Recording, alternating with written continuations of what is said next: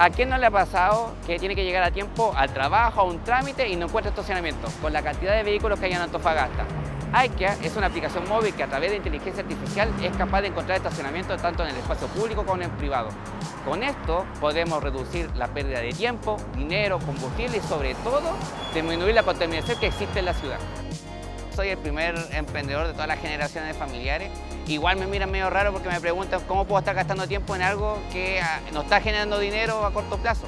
Eh, principalmente necesitamos el premio para poder masificarnos en Antofagasta. Queremos contribuir a que Antofagasta no sea una ciudad contaminada, mitigando la generación de CO2 de los vehículos. Y principalmente necesitamos que las personas nos ayuden a ayudar al medio ambiente y sobre todo a la ciudad de Antofagasta.